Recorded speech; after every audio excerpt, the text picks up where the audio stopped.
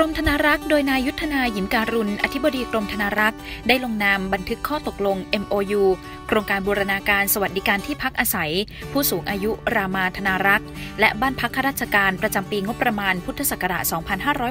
2563 โดยเป็นความร่วมมือระหว่างกรมธนารักษ์ คณะแพทยศาสตร์โรงพยาบาลรามาธิบดี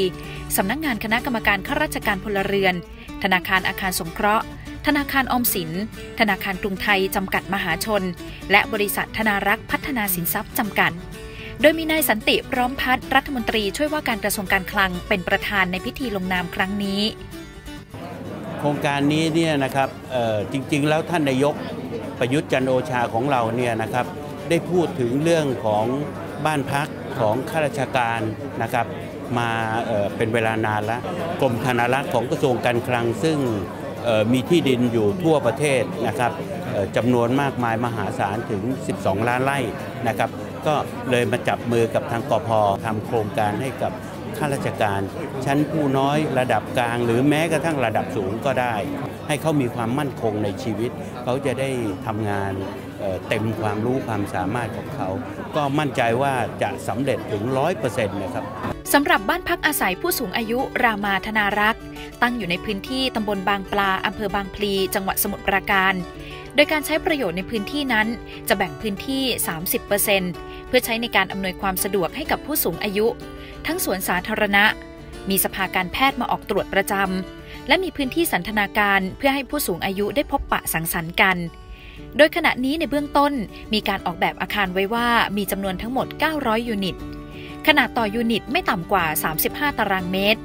โดยจะขายสิทธิ์เช่าในราคายูนิตละ 1.8 ถึง 1.9 ล้านบาท ซึ่งจะเตรียมเปิดให้จองในวันที่ 8 พฤศจิกายน 2563 นี้ และคาดว่าจะเริ่มตอกเสาเข็มได้ประมาณช่วงต้นปี 2564ขณะเดียวกันกรมธนารักษ์ยังร่วมมือกับธนาคารอาคารสงเคราะห์หรือธอสให้สินเชื่ออัตราดอกเบี้ยต่ำ เพื่อเป็นการจูงใจให้ผู้สูงอายุ หรือบุตรหลานเช่าซื้อคอนโดมิเนียมได้มากขึ้น เมื่อได้จำนวนผู้จองสิทธิ์เช่าแล้ว ก็จะเปิดให้เอกชนประมูลลงทุน โดยคาดว่ามูลค่าลงทุนทั้งโครงการ รวมมูลค่าที่ดินประมาณ 3,000 ล้านบาท ต้องขอบพระคุณท่านท่านมนตรีช่วย แล้วก็ท่านอธิบดีกรมธนารักษ์นะครับที่ให้การสนับสนุนโครงการ คุณภาพชีวิตของข้าราชการพลเรือนสามัญนะครับซึ่งโครงการของธนารักษ์ที่จะนำร่องโครงการนี้นอกจากจะตอบโจทย์ความต้องการของที่พักอาศัยแล้ว วิถีชีวิตใหม่ของข้าราชการ ความจำเป็นของของข้าราชการที่จะสามารถทำงานที่บ้านได้ธนารักษ์ได้ตอบโจทย์อันนี้สำหรับเงื่อนไขในการจอง ผู้จองต้องมีอายุ 58 ปีขึ้นไป เพื่อให้สามารถเข้าอยู่ได้เมื่ออายุ 60 ปี หรือบุตรหลานสามารถจองซื้อ เพื่อให้สิทธิบุพการีเป็นผู้พักอาศัยได้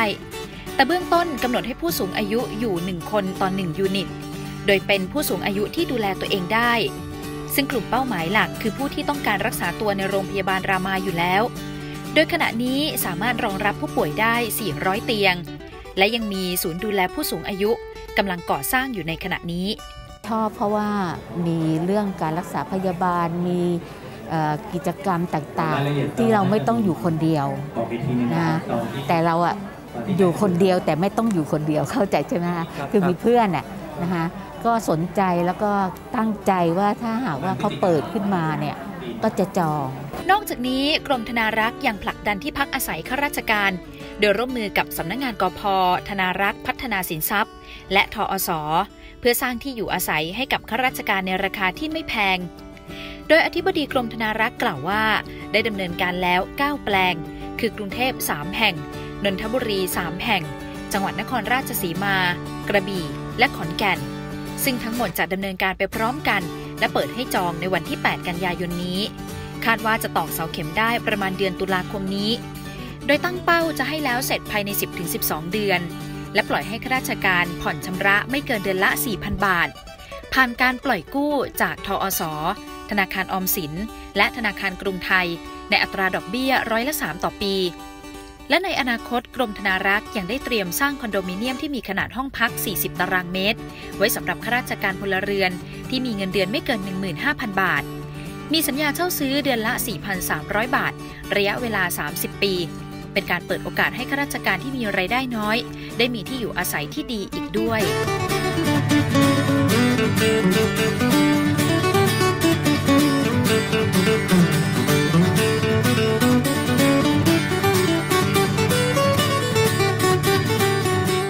การบูรณาการสวัสดิการที่พักอาศัย ผู้สูงอายุรามาธนารักษ์ และบ้านพักข้าราชการ นอกจากจะทำให้สามารถใช้ที่ดินให้เกิดประโยชน์สูงสุดแล้ว ยังเป็นการทำเพื่อสังคมมากขึ้นไปในตัวด้วย